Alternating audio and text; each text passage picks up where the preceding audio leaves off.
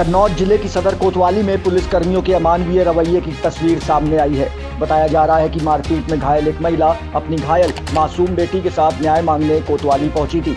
कोतवाली में मौजूद पुलिस कर्मियों ने उनकी एक ना सुनी और मेडिकल के लिए जिला अस्पताल जाने को कह दिया। दर्द से करा रही घायल महिला को मेडिकल कराने के लिए पुलिस ने कोई साधन भी नहीं दिया।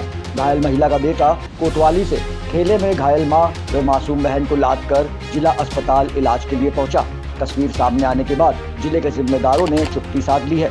फ़िलहाल घायल महिला और उसकी बच्ची का इलाज अस्पताल में चल रहा है। पीड़ित का कहना है कि ससुरालियों ने दहेज न देने के कारण महिला और उसकी बच्ची को जमकर पीटा है। दमाद ने मारो जेठ ने मारो और उनकी सास ने मारो। क्यों मारा? किस बात? दादा साहब जंजीर दे गाड़ी दे साहब हमारे है ना मुझे अकेले अपने इलाज कराओ और दो चीज़ें हमारी बिटिया है। और उन्हें साहब है, आरसी में हमने दवा करवाई था, अब जो है, साठ हज़ार लगे उमन साहब, और एक रुपया ना दो, ना इनकी सास में दो, और ना किसी हमने अपने लगाओ, हमारे अपनी बिटिया ठीक कराओ, अब साहब हमारे घर सब लोग गुदगुद मार रहे हैं, हमारी बिटिया से।